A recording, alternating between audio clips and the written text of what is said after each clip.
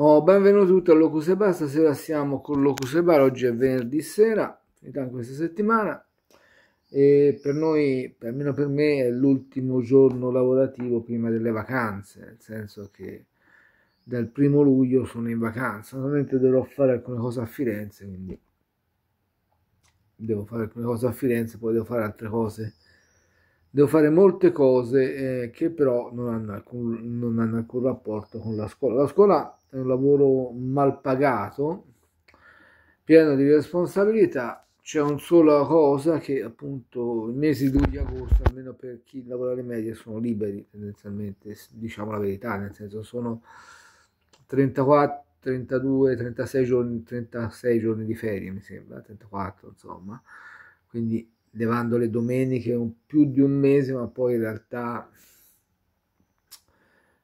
cioè, nel senso che io sì, nel senso al 15 agosto sarei in servizio, ma cosa vado a fare a scuola? Nel senso che, ripeto, io non sarei contrario a insegnare d'agosto, eh?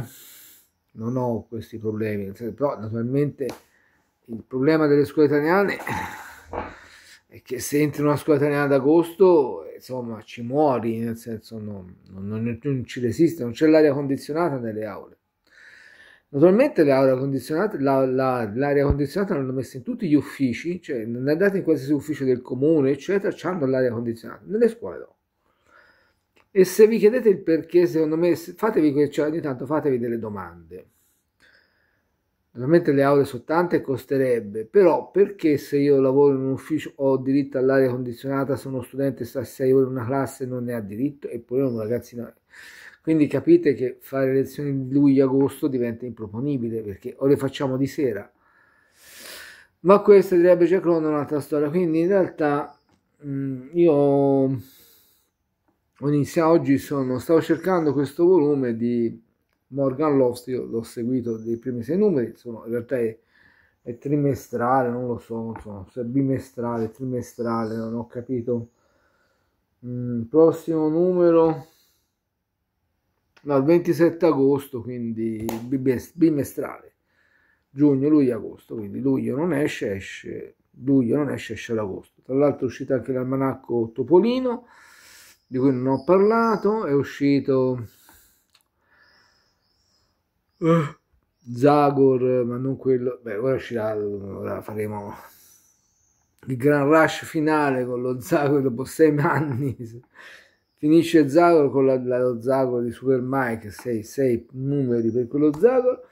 E, niente, cioè, quindi escono tante cose, però onestamente tra i fumetti un pochino più Lucchini aveva notato giustamente, vabbè, qui credo che la citazione della, della cosa, della, anzi della pietà di Michelangelo, la copertina è di, è di buonasera, è di buonasera, di Fabrizio De Tommaso, molto bella, diciamo che ha ragione Lucchini un po', il, la pietà di Michelangelo è un po' abusata, io me ne ricordo una sicuramente in Batman, poi tantissime, forse anche di Nandog, eh, nel senso un po' sta un po' alla, la pietà di Michelangelo sta alla scultura come la Gioconda alla pittura, nel senso che c'è la barba lunga, eccetera, eccetera. Quindi facciamo un po' di chiacchiere di questo fumetto. Chiaverotti è sempre un grande geniaccio, quindi normalmente le storie di Chiaverotti sono tutte disturbanti. Splatter disturbanti, eccetera. Ieri ho citato Ranxerox, ho citato Frigidaire, diceva Lucchini lui non leggeva, ma non è obbligatorio, l'ultimo Frigidaire che leggevo io non era che sia tutta questa gran cosa, senso, a parte i disegni di Palumbo c'era poca roba. Mi piaceva come rivista, mi piaceva come idea di rivista. Realmente Frigidaire da quando poi morirono Tamborini e, e Pazienza per sé, cioè per sé.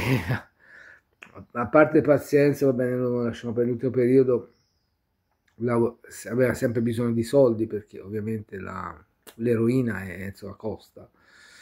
Quindi vabbè questa è un'altra storia. Il mondo è brutto e cattivo. E come ci dice questo fumetto ovviamente questo fumetto può essere apparentemente banale Chiavarotti sfrutta il vecchio tema della brutta e della bella nel senso la brutta che è invidiosa la bella, però in questo caso l'idea geniale di Chiaverotti è che ovviamente c'è una donna brutta e grassa che uccide le donne belle per vendetta, per vendetta, non è che sia vendicare, ma è ovvio, nel senso messa così sarebbe una storia molto banale, no, banale nel senso sì, condividibilissima, ma nel senso ovviamente siamo una società che guarda, in realtà potremmo tornare addirittura a Socrate Alcibiade, dice prendi la larga, nel senso che appunto la bellezza di Socrate non era una bellezza fisica ma spirituale. Quindi se la bellezza spirituale può, ehm, soppian- può ehm, soppiantare, no, ma può eh, far dimenticare la bruttezza fisica. A me andrebbe benissimo ovviamente, ma viviamo una società in cui ovviamente i canoni di bellezza, cioè è una storia che messa così potrebbe sembrare... Ah, i disegnatori sono due, faccio sempre i padri, poi sono molto stanco oggi perché sono stato... Era l'ultimo giorno di scuola, ma dalle 8 di mattina fino alle 5 del pomeriggio, tutto infilato. Sapete, c'è la ratifica degli esami, insomma, poi c'è l'ultimo collegio docenti. L'ultimo collegio docenti scopro che ci sono delle persone che non vogliono andare via. Continuano e mm, penso che per due mesi non avrò collegi docenti, insomma, tanta roba. In realtà poi passano abbastanza velocemente questi due mesi il ciclo delle cose, anche se poi con tutte queste edicole chiuse un po'. Una cosa che mi piaceva molto andare a scuola in quest'anno era che mi potevo fermare a delle edicole, compravo il fumetto e andavo a scuola, non lo leggevo in classe, però insomma già ora il deserto dei tartari cioè c'è un'edicola ma da tutta un'altra parte, quindi nel senso è molto comodo andare a scuola, al lavoro e avere l'edicola passandoci. Ora lì vendono guide turistiche. Vabbè, che vedevo di? Che vedevo di? Che vedevo di, ragazzi? Che vedevo di? Niente, no, dicevo la storia potrebbe essere... No, i disegnatori sono due, Francini e Ivanzoni, ovviamente il... cioè nel senso che costa 4,90 il formato è un pochino più grande del vecchio Bonellide è un pochino però le pagine sono molto meno. Qui sono circa 66 pagine un po' più grandi. Ora a casa mia dovrebbe costare un pochino meno secondo me quest'albo. Però a casa mia io ho delle idee strane nel senso se un albo sì è ovvio che, che sovrava cioè nel senso è un formato un po' diverso da quello Bonelli è classico, è più largo. E mi va anche bene, però sono 66 pagine, insomma un fumetto Bonelli di solito questo quanto ce n'aveva.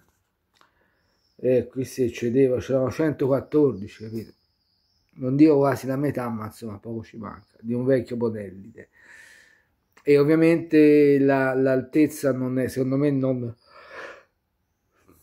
però questa è la mia idea, nel senso comunque poi è un fumetto bimestrale, io con i fumetti bimestrali mi ci sbrazzico poco perché poi me li dimentico, naturalmente guardando su internet poi mi, viene detto che esce, dall'altro Morgan Lost non si trova in tutte le edicole, quindi ho un po' smazzicato per averlo. Sentivo un cane ululare in lontananza, sì, sentivo il cane ululare ululare, lupo ululì, castello ululà. Dicevo no, quindi sì, lo so, sono discorsi un po' prosaici, però so, vanno anche fatti, nel senso che comunque sempre, cioè eh, siamo sempre quando un fumetto costa poco, 4, cioè sotto i 4,90, qualsiasi formato abbia, cioè, è come se ci fosse una soglia, i 4,90 sulla soglia sotto la quale non si scende. Addirittura i cult, classic cult, costano 5 euro mi sembra. Non so in base a cosa ecco cioè, i prezzi mi risultano molto questo vabbè c'è un senso perché comunque sono storie nuove poi dicevo comunque la storia appunto i disegni di Francini e Zoni di sé sono molto belli ecco nel senso sì c'ha avendo un formato più grande ha le tavole più grandi. E la storia potrebbe essere semplicemente una serial killer grassa che uccide le donne magre, che detta così è un po' da banalità fatta persona, però in questa storia è come lo specchio, uno si, è Dr. Jekyll e Mr. Hyde, Chiaverotti fa un gioco molto sottile in cui la, la, la vabbè, ricorda un po' Telma e Louise, insomma, le due donne in fuga, due assassini, una bellissima, una bruttissima, che però sono due facce della stessa medaglia. Sono tutte e due ossessionate dalla bellezza, una perché è brutta, l'altra perché è bella, ma la bellezza diventa un'ossessione. Guardate me, insomma, tutte le sere ci sto tre o quattro ore per farmi peggio, tutta questa bellezza che voi vedete qui, mia penserate, penserete, penserate che venga così, è proprio anni, giorni, cioè, proprio anche questa t-shirt così. questa fondotinta, eccetera, eccetera, nel senso a volte no. Soprattutto alcune, vabbè, è ovvio che chi fa TikTok, soprattutto ragazze, io con le unghie lunghe così, ora vanno di moda, le unghie tipo mi fanno uno schifo, mi fanno senso. Devo dire, a me vedo una donna con quelle unghie mi fa senso, mi fa impressione, mi sembra donna ragno, tipo, mi sembra Dracula, ma non ho sferato, ecco, le unghie non sferato, non vanno di moda le unghie non sferato. Mentre io insomma, sono bello naturale, quindi no, in realtà so tutta questa bellezza che sfriguglia dallo schermo è tutta natura, è proprio, non ci ho neanche messo, non mi lavo ovviamente, ma più che lavarmi darmi il deodorante che ora si comincia a sudare a, a Firenze, cioè si passa climi gelidi a climi a... cioè si passa dal Polo Nord all'equatore, ma in mezza, mezz'oretta, ecco.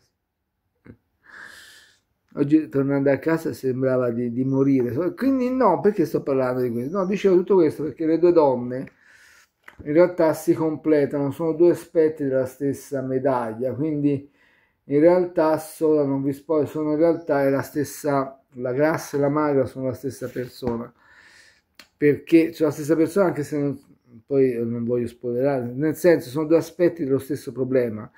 Allora, qui è stato il colpo di genere di Chiaverotti perché la serial killer che uccide, ovviamente Grassa che uccide perché si sente misero, vabbè, quella citazione misero non deve morire, eh, Stephen King, eccetera, eccetera, però l'idea è che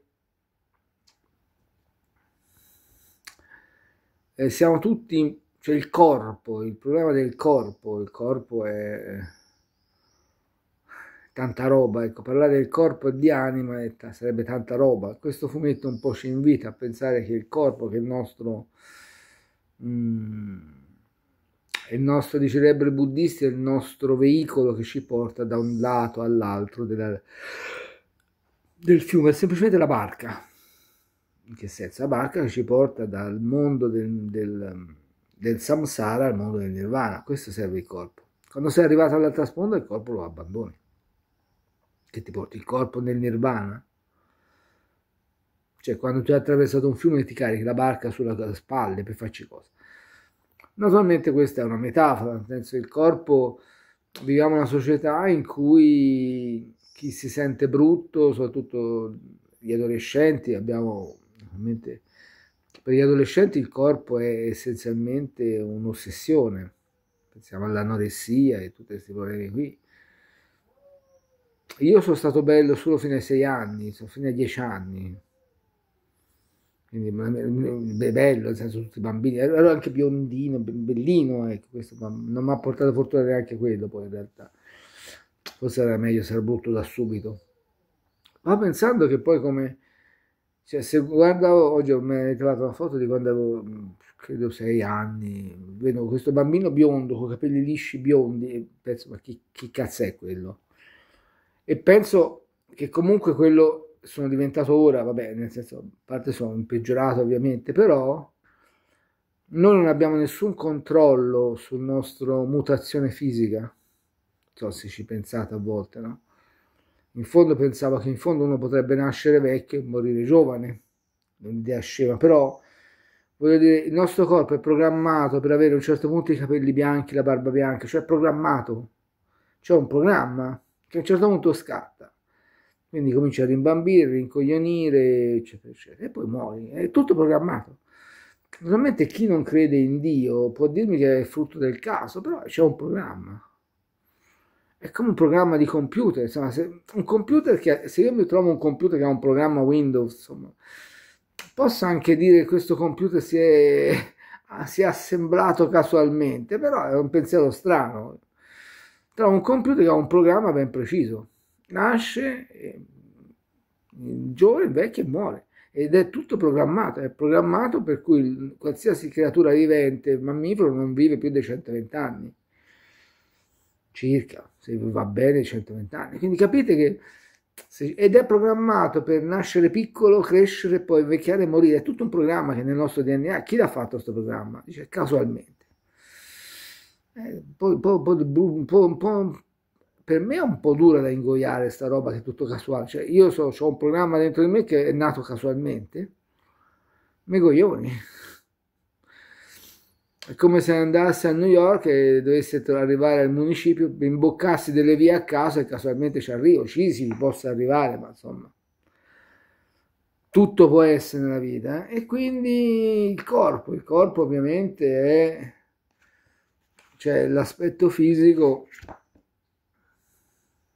è sicuramente la bellezza fisica, è sicuramente oggi come oggi io ho una mia visione del mondo che è molto particolare, ma non, non che cioè, il concetto anche qui c'è dice una certa una vita che dice sei bella dentro, sì, capite, bella dentro, però il bello dentro è, fu inventato da Socrate. Quando diciamo a qualcuno sei bello dentro, deriva dal famoso apologo di Alcibiade che disse Socrate è brutto, è grassottello, la faccia schiacciata, pelato, proprio brutto, però dentro è come quei satiri, quei le statuine brutte che se le apre hanno dentro degli splendidi dei. Quindi l'idea della bellezza interiore è un'invenzione di Socrate e Platone. Prima i greci erano, se eri bello eri bello, Achille è bello, nessuno si pone il problema se sia bello dentro, devi essere un guerriero, devi essere efficiente, la bellezza calocagatia. Calocagatia sembra una parolaccia, ma vuol dire che sei bello perché sei efficiente, sai uccidere i nemici velocemente, il tuo corpo fisico non è come noi, Guardate i bronzi di Riace, guardate un culturista, anche quelli che stanno, fanno i video su YouTube, no? sembrano delle montagne di muscoli. I bronzi di Riace non sono, sono muscolosi, ma nel giusto, cioè hanno quei muscoli che servono a muoversi velocemente in battaglia.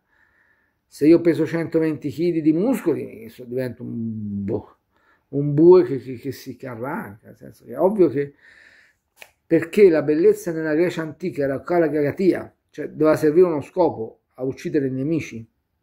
Non è una bellezza così che io vado in palestra, prendo, divento bello perché devo fare il concorso di bellezza. È un'altra cosa, un altro pensiero. Quindi vabbè, quindi il concetto di bellezza oggi che ovviamente è un concetto su cui si basa tutto il nostro mondo moderno. Se pensate bene, la bellezza è una base del nostro mondo. Io naturalmente in questo mondo sono fregato. Ma arrivato a 56 anni in realtà fra appunto fra 17 17 19 giorni fa quindi che cosa volete me ne freghi a me ormai scusate che ha avuto avuto che ha dato ha dato scordiamo su passato si minavo le paesane. Quello che devo fare l'ho fatto. In senso biblico. Ho fatto quello che devo fare. Ora non, è neanche, cioè, non è neanche tanta voglia di fare ancora ma perché? Vabbè.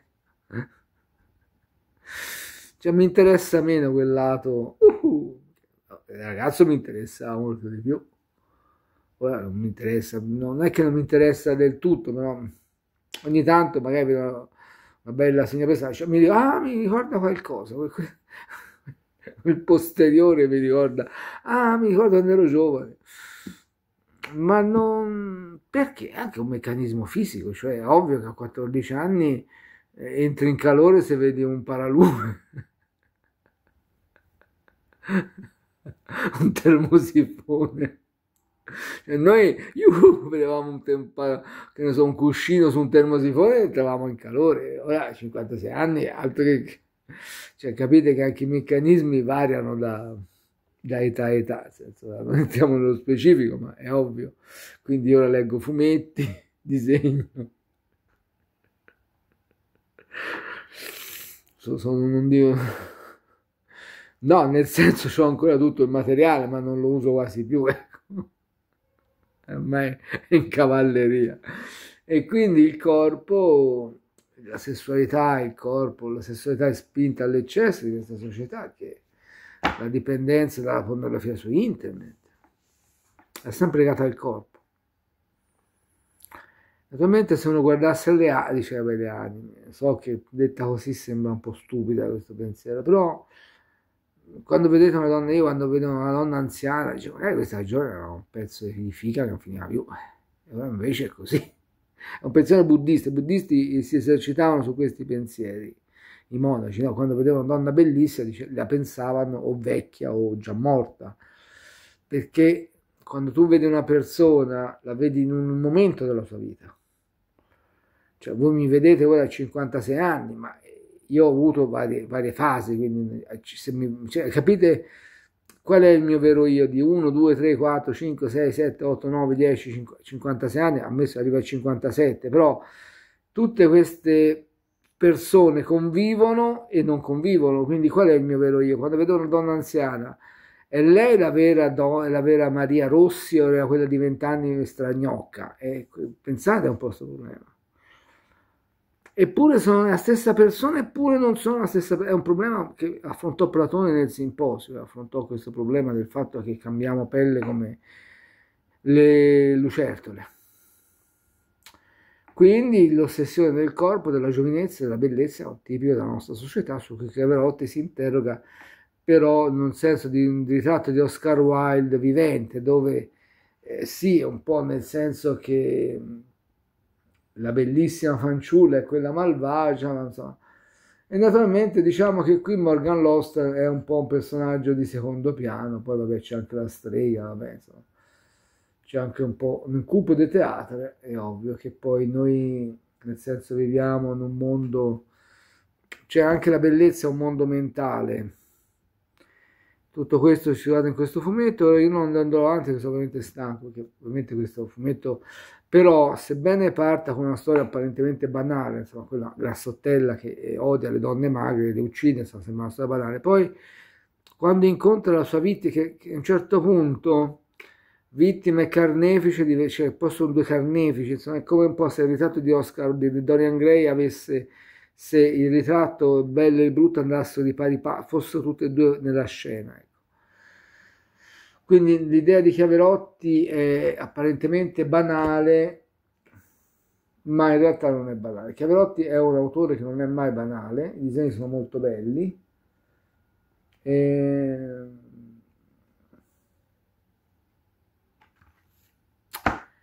Il mondo è fatto così il mondo this, no sono un po' veramente un punto stanco quindi chiuderò questo video qui non andrò oltre e vi auguro a tutti buonanotte poi ora ovviamente devo anche metabolizzare il fatto che cioè, in realtà quando poi da settembre a giugno cioè noi praticamente la fine dell'anno è ora no? a settembre cioè noi il capodanno è il 2 settembre quando c'è il primo collegio docente quindi in realtà in realtà puoi prendere le vacanze da luglio-agosto, a me mi sembra sempre una fregatura perché poi io preferirei altri mesi, ma insomma. Naturalmente si potrebbe dire che gli insegnanti hanno tanti tempo, di... in realtà sì e no, perché quando tu sei a scuola, la scuola diventa una sorta di vampiro totalizzante, cioè nel senso con, con le Whatsapp, chat, cioè tu stai 24 ore dentro la scuola, anche se ne sei fuori. Cosa che cioè, apparentemente l'insegnante lavora meno, ma lavora... Eh, insegnanti sono tutti schizzati di testa, ecco, secondo me io, nella mia esperienza personale, partendo da me, non so se in altri ambiti, però persone veramente schizzate come gli insegnanti non ne ho trovate tante. C'è gente fuori di testa.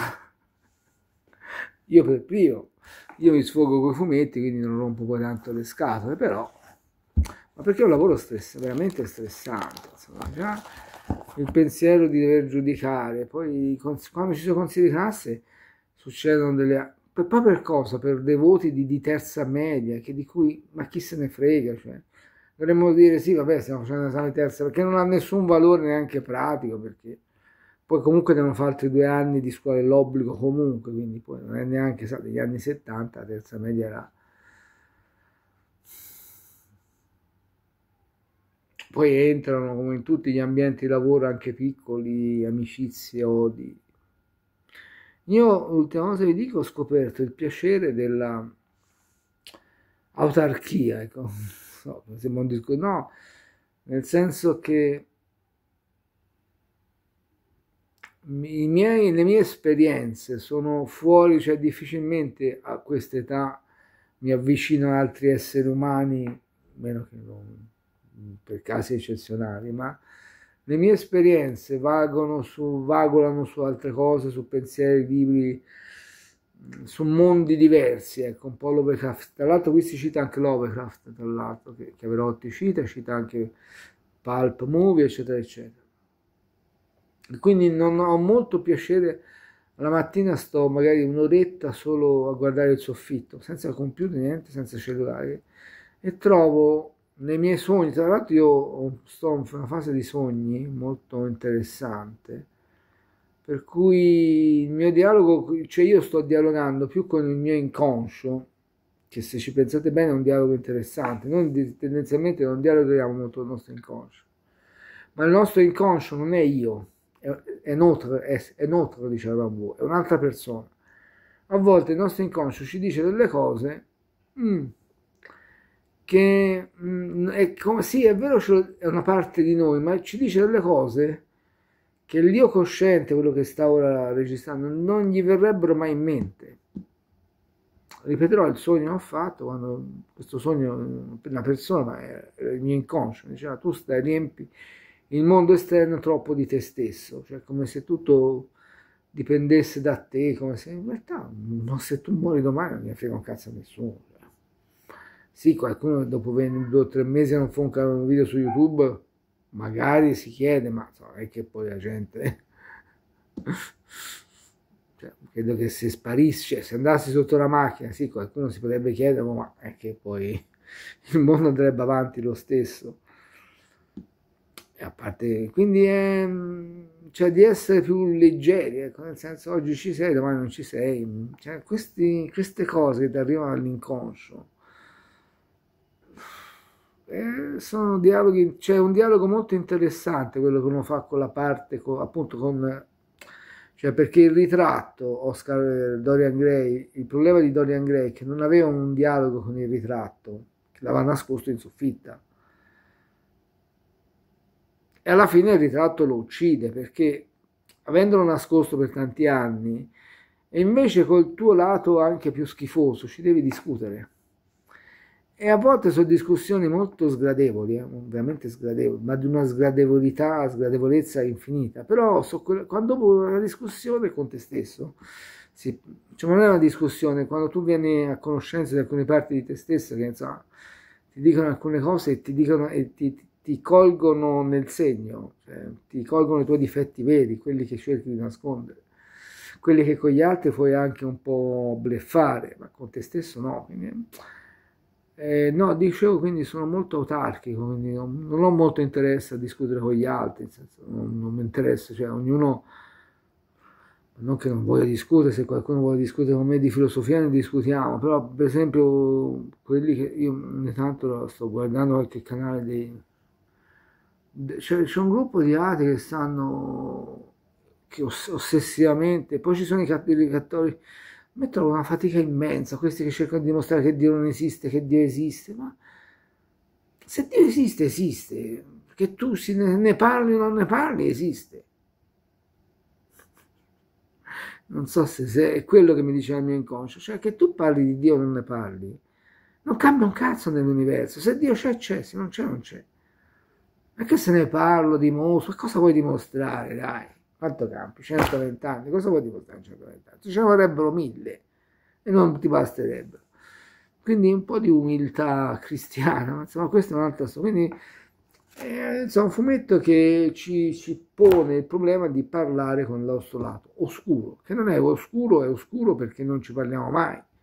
È il bambino che abbiamo chiuso in soffitta e, non, e ci dà un po' fastidio perché ci fa fare brutte figure quello che dice le cose sgradevoli, a volte quando sei lì, dici, parte, cioè, cioè, vedi uno che testa di cazzo, che però è la voce, del, la voce dell'innocenza, no? E, oh, che tu dici stai zitto, no, tu lo devi reprimere, però devi ascoltarlo, ecco, devi ascoltare il tuo bambino, il fanciullino di Pasqua, e con fanciullino di Pasqua chiudiamo questo video.